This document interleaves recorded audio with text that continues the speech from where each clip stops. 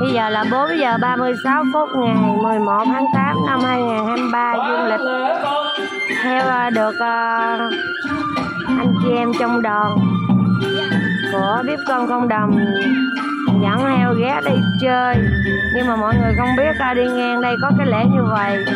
Nếu mà nói riêng của heo thì khi mà heo nhận được cái vé tàu á ở bên um, Việt Nam của mình á là chưa ra đảo là cái vé của heo là vé số 5 nhưng mà heo có mê tín một chút số năm của heo là tượng trưng cho năm mẹ ngũ hành.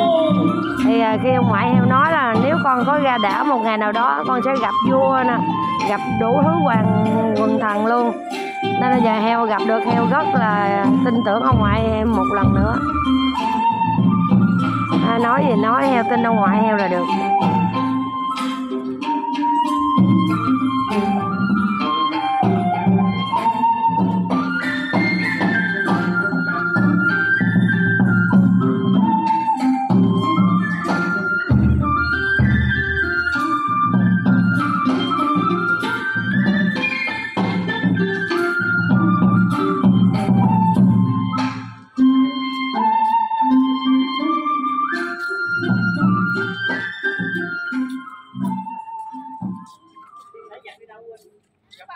Thank you.